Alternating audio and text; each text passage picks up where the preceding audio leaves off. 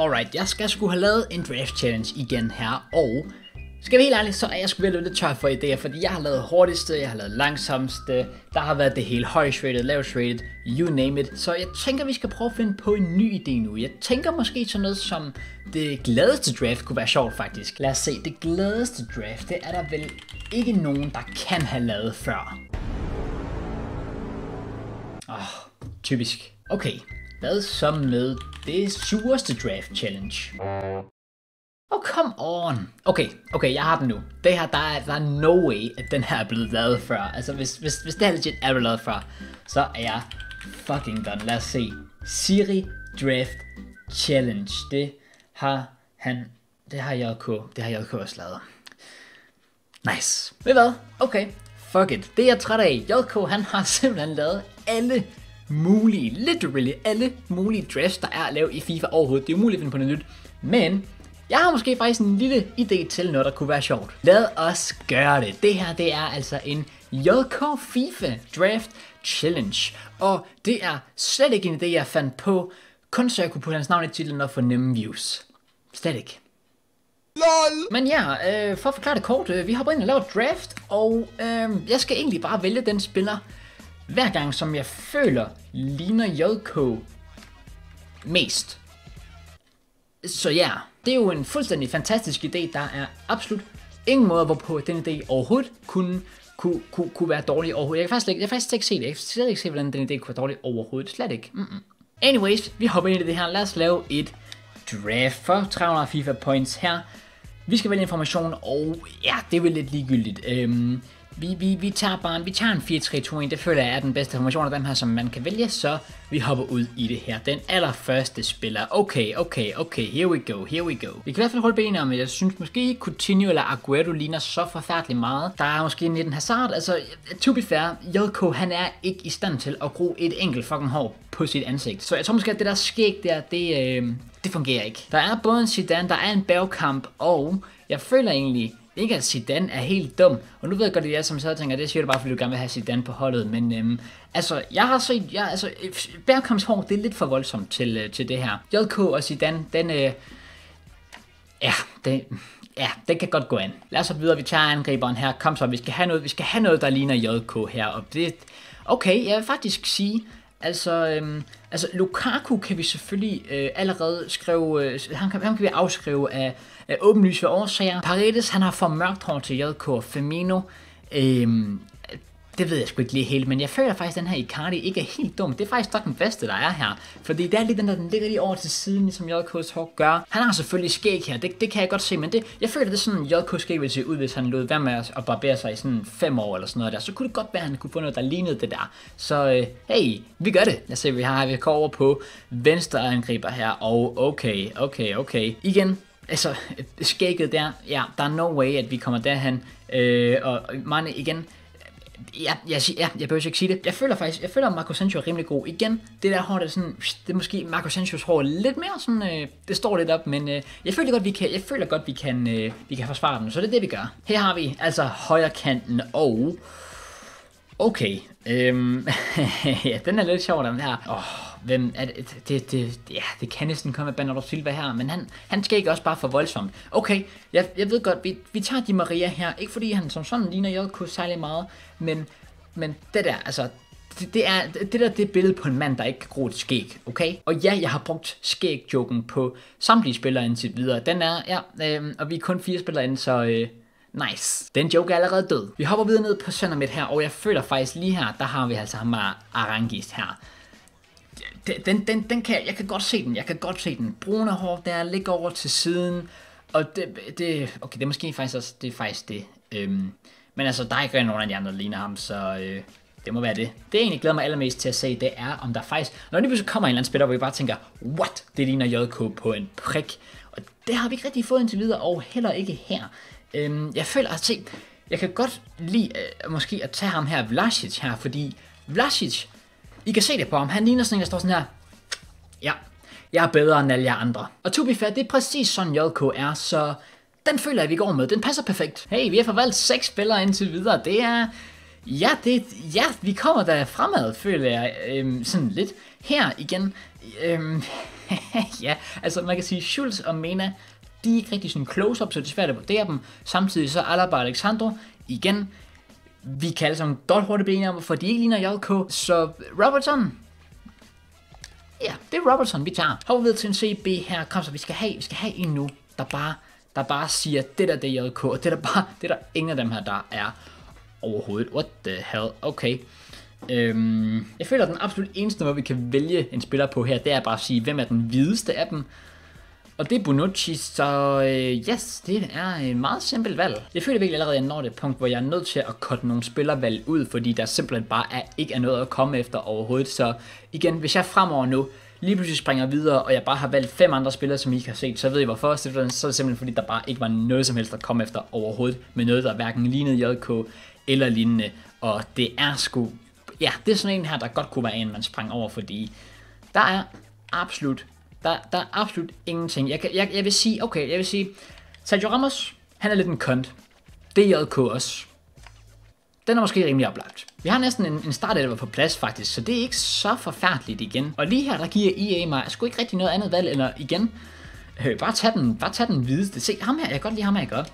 Han kunne godt ligne en JK, hvis JK lige pludselig blev hjemløs. Så hey, vi kan godt, vi kan godt, ja, vi kan, vi kan lige dreje den en lille smule til vores fordel. Hey, altså, altså, please lad mig, okay, øh, ja, det var en dårlig dag fra starten af, jeg ved det godt, I'm sorry, nu er jeg allerede gået ind i det, så der er ikke, der er ikke så meget med at gøre, I'm sorry. Mangler kun en keeper nu for at fulde en start 11'eren, og, øhm, ja, yeah.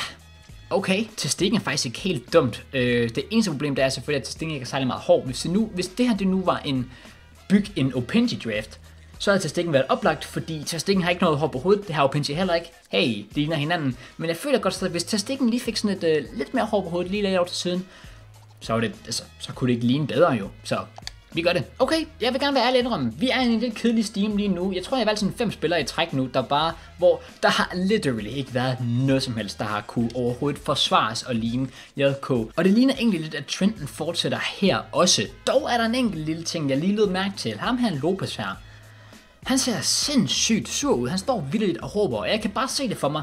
Det der, det er JK hver gang jeg igen tager en pause. Det, det er mig, jeg joiner Discord, går ind og snakker med JK, og JK han er instantly bare sådan, Kraus, hvorfor har du ikke uploadet en video? Du fucking shit, oh my god, uh, du skal fucking uploade og så videre. For han fældet, kom i gang nu, Kraus. Det der var den bedste impression, jeg nogensinde har lavet af nogen som helst anden person. Ever. Og ja, for at fortsætte lidt i samme bane, så kan vi egentlig sige, at uh, det her, det er JK, hver gang han ser Arsenal spille en kamp, fordi, fordi han, han, han græder. Get, get it? Haha. Det værste er, at Arsenal ikke engang særlig shit længere. De vinder faktisk kampe nu. Fuck sake. Goddammit, jeg laver joken anyways, okay? Og I kan ikke stoppe mig. Det her, det ligner noget, jeg kunne nok ville drømme om, han var. Og det her, det er så, hvad han rent faktisk er. Well, mine damer og herrer, det var... Øh, det var drafted. Så, ja. Yeah. Er der nogen spillere på det her hold her overhovedet, der sådan rent faktisk ligner JK? Nej, Overhovedet ikke. Vi skal også lige hurtigt have valgt en træner. Det kan være, måske, det, det skulle lige passe, det var her. Det skulle lige passe, det var her, hvor der kommer en, der bare ligner JK for sygt. Men jeg vil så også sige, trænere plejer oftest at være lidt ældre, så jeg vil sige, der er større chance for, at vi finder en, der ligner Opinji. Og ja, vi kan også se, der, der, der er ikke noget overhovedet. Men hey man, vi, vi, vi gjorde det! Yay! Og det er utroligt shit draft oven i købet. Sådan, hvad er det, 100... 157 rated. Vi fik heldigvis rating op på 89, hvilket så gør det her draft til et 159 rated draft. Værste idé nogensinde. Der er sikkert en eller anden mega obvious, jeg slet ikke har set, som jeg misser. Men, øh, oh, der, okay, man kunne få lidt mere kemi der. Hey, vi kan tænke sig godt få den tre højere kemi, jeg ved lige at lave den her hurtige udskiftning her. Fordi så får de Maria fuld kemi, og man kan sige, at vi kan alligevel bare skifte ham her Lopez ind i starten af, af, af kampen, vi skal ind og spille, så hey. Men ja, anyways, lad os, lad os bare hoppe ind og få, jeg vil nærmest, jeg vil, jeg vil ikke engang sige spillet en kamp, jeg vil bare sige øh, overstået en kamp. Holdet vi skal op imod, det ser, så, det, det, ser, det ser sådan her ud. Det er et 191 rated draft med fire icons på, sådan, hvor den ene af dem er R9 op foran, og den anden er Zidane, og, og resten af holdet er generelt også fucking sindssygt, så øh, øh, ja, det, øhm, øhm, Um, fuck this. Uh, det er godt spillet det her. Icardi. Oh my god, vi rammer to gange stolpe der. Hold da kæft, den starter alligevel. Det havde jeg ikke lige regnet med. Ej, det er lækkert spillet det her. Uh, uh, vi kommer igennem. Straffe. Let's go, let's go, let's go. Det er Zidane, der skal tage det. Oh my god, og jeg kan ikke finde ud af at sparke straffe i FIFA 20. Jeg er elendig til det. Men hey, vi lever til den. Zidane. Vi gør det til 1-0. Let's fucking go, dude. Hvor er det sygt, det her. Hvor er det sygt. Vi simpelthen starter så godt ud. Gør det til 1-0 her også. På et straffesmål af Zidane. Let's go. Det var ikke særlig godt, det der boldtab der. Oh no. Det var... Øhm, ja. Det var lang tid. Det var lang tid, den føring holdt. Ah, det er fint spil, det her. Det er fint spil. Ui, Zidane, han er løbet. Ja, tak. Ja, tak, Zidane, han kommer igennem her. Chipper den over keeperen. Let's go, Zidane. Han er for sindssyg. Og jeg dabbede lige med Zidane. Et syn, jeg aldrig havde troet, jeg skulle se før. Hvor er det vildt spillet, det her Zidane. Han er jo fuldstændig vanvittig. Mom man, han løber helt ned for egen banehalvdel af. Sprinter bare op. Chipper den iskold over målmanden. Intet han kan gøre, for Dijk kan ikke nå bolden, og vi får den igen. Lad os se, om vi kan holde føringen længere end 3 minutter den her gang. Okay, vi får den faktisk lidt heldig med igen. Ui, vi får den. Oh, kom igen. Ej, godt spillet det her. Det er godt spillet. Ja tak, vi kommer igennem. Lisandro. Uh. Åh oh, nej, han har jo også selv Zidane. Oh, hey. Heldigvis er han Zidane shit. Oh fuck, here we go. Oh no, oh no, oh no. Ah, come on. Ernie, han er simpelthen for sindssyg. Han er simpelthen for sindssyg. Ah, fuck. Nej, det er godt lavet. Det er godt lavet. Høj, hvor er det godt taget os. Come on. Hvorfor kan jeg ikke skifte den spiller, jeg gerne vil have? Oh my god, hvad sker der her? Nej, hvor er det dårligt cleared. Hvor er det dårligt cleared. Vi er under pres. Vi er så hårdt under pres, og jeg læser den der, den der, han får skud alligevel. Oh, han spiller godt. To står den altså til os ved halvlejen her, og øh, jeg vil sige, vi dominerede meget i starten. Har haft nogle chancer, kunne også godt gøre til 3-1 måske, men øh, puh, har han også haft nogle store chancer ham her, og vi er nok også lidt heldige, han kun har scoret et enkelt. Ui, det er godt spillet. Ja tak. Vi får den med her, Messi. Det skal en lille smule heldigt. Ind i banen her, Messi. Ude på kanten igen. Nej, vi leger med ham. Lisandro. Over til højre foden her. Vi skal bare prøve sparket, Lisandro, og han fyrer den øh, 5 meter over mål.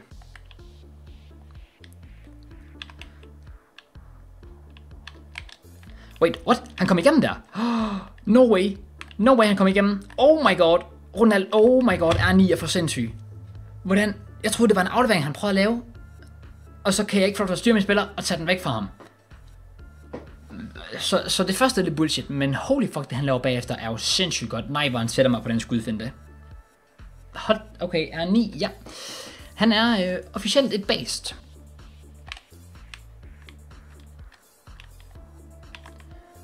Øh, der var ikke frisbak der? Nej, okay. Det, øh, det var pænt træls, fordi nu løber han sikkert ned og score. Ja, det gjorde han. Øhm, øhm, jeg vil gerne lige vide, hvad der skete der.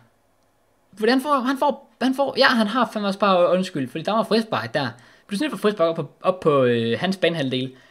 Og øh, så løber han faktisk bare direkte igennem mit forsvar. Hold da kæft. Okay, så hurtigt kan det gå. Øhm, okay, fed aflevering lige i fødderne på modstanderen. Det var da ikke rigtigt der, jeg pegede den hen, men øh, damn. Han løber sikkert ned ad skoen nu, fordi man er alt for hurtig. Det gjorde han. Så det var så lige endnu en mål, vi lukkede ind, som vi ikke burde have gjort.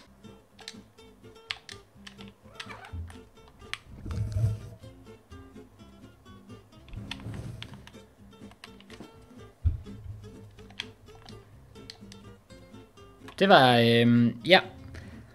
Nu lukker vi så et mål til 5-2 som I kunne se. Fordi min kat valgte har på bordet. Og skubbe min mikrofon ind foran skærmen, så jeg ikke kunne se en skid. Tak. Mwah. Elsker dig så højt.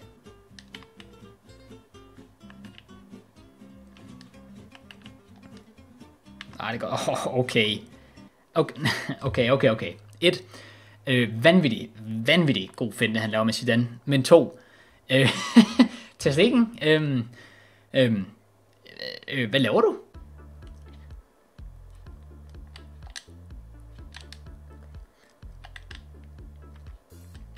Uh, Di Maria, skal vi lige have en kasse? Det skal vi, det skal vi faktisk. Hey!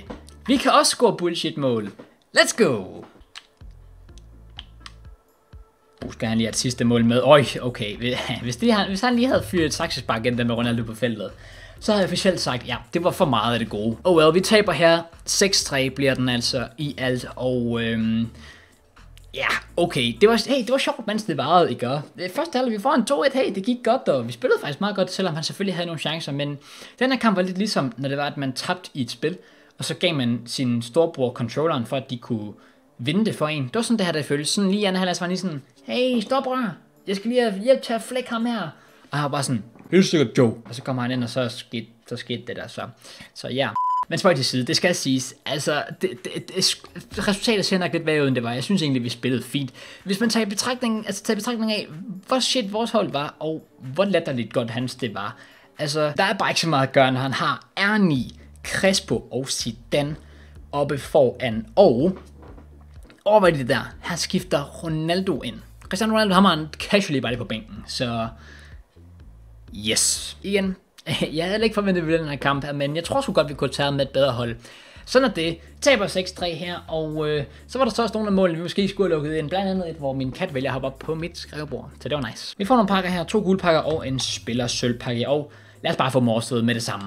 Trash, trash og mere trash. Men ja, det var altså det for den her video her, og for den her draft challenge, hvor vi lavede noget, som Ja, jeg ved sgu ikke lige helt. Altså, jeg føler at egentlig, det blev meget grineren, men øh, det var måske ikke den, øh, den allermest øh, nemme idé at lave øh, i draft i hvert fald. Men hey, vi prøvede. Jeg håber selvfølgelig, at I alle sammen har nyt at se videoen her, og jeg håber, at I nyder de lidt anderledes sådan, draft challenges. Altså igen, det er jo nærmest der kun fantasien, der sætter en stopper for, hvor meget lort man egentlig kan lave inde på Food Draft. Så hvis I har nogle idéer, jer derude, der sidder sig med her, skriv mig det ned i kommentaren. Det kan være de mest random idéer, altså bare fyr dem, for det kan være, der er noget sjovt. Men udover det, så er der igen at sige en tusind mange gange tak, fordi er som alle sammen. Hvis I har nyt videoen, så glem endelig at gå ned og smid et like på den.